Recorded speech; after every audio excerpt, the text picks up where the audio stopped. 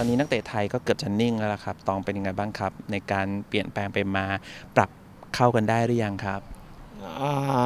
ก็ผมว่าก็เริ่มดีขึ้นเรื่อยๆครับผมเพราะว่าก็ได้มีเวลาซ้อมด้วยกันมากขึ้น แล้วก็ก็ค่อยๆ เรียนรู้แท็กติกที่ที่ที่พี่แบรนด์ใส่มาให้มากขึ้นครับผมแต่ถึงจะเปลี่ยนแปลงยังไงส่วนใหญ่ตองก็คุ้นเคยกันหมดแล้วนะครับ ไม่ว่าจะเป็นทิสตองหรือหลาย ๆ คนบาสพิรพัฒน์รวมไปถึงหลาย ๆ คนนะฮะครับก็เหมือนเหมือนทุกคน รู้จักกันในในนามทีมชาติอยู่แล้ว แล้วก็คือก็มีความมีความเหมือนสนิทสนมกันอยู่แล้ว แล้วก็คือผมว่ามันก็ไม่ได้ไม่ได้ไม่ได้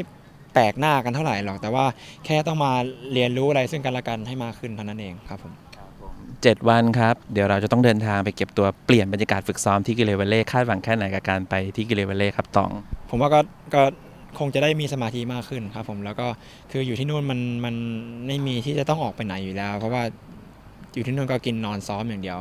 ก็จะได้มีสมาธิแล้วก็เต็มที่เตรียมตัวสำหรับสำหรับการที่จะเปิดลีกในวันที่ 5 นี้ครับผมครับผมนักเตะอย่างตองเนี่ยชอบฟิตเนสอยู่แล้วยิ่งเป็นเรื่องดีไปอยู่ตรงนู้นใช่ไหมครับ จะได้มีเวลาในการทำหลาย ๆ อย่างนอกจากการฝึกซ้อมได้เต็มที่ครับก็อย่างที่บอกว่าตรงนู้นมันเราไม่ต้องออกไปไหนเลย คืออยู่ตรงนั้นแล้วก็คือผมว่าผมว่าที่กิเลนมาเล่นมันก็มีครบทั้งทั้งสนามฟุตบอลทั้งครับอ่าสระว่ายน้ำหรือว่าจะเป็นเป็นฟิตเนสเอง ผมว่ามันก็ค่อนข้างครบ แล้วก็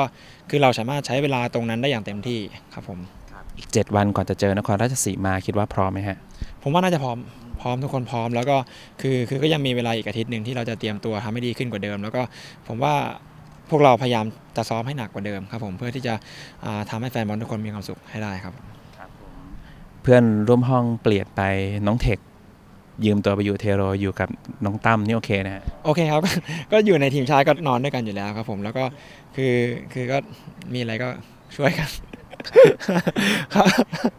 ครับสมัยก่อนเราดูเป็นเด็กกับคนอื่นนะแต่เมืองทองยุคนี้เราดูเป็นพี่ใหญ่เลยทันทีโอ้ตอนนี้มีแต่เหมือนแต่ก่อนก็ต้องยกมือไหว้เขาตลอดเวลามาสนามยกมือไหว้ตอนนี้ มีแต่คนยกมือไหว้มีแค่พี่ตาลพี่โก้หรือไม่กี่คนใช่ครับก็พี่ตาลพี่โก้เขารุ่นใหญ่แล้วครับครับผมคือเปลี่ยนคนนอนมาเป็นตั้มก็สบายเข้าทาง ครับผมก็ก็คือสนิทกันอยู่แล้วครับผมเดี๋ยวแฟนคลับเขาบอกว่าอยากให้เมืองทองทีวีตามไปดูห้องพัก พี่ตองกับพี่ตั้มนะฮะ ไปดู six pack นะฮะ เดี๋ยวไปที่กิเลนวัลเลย์นะฮะ ครับผมขอบคุณครับ ครับครับ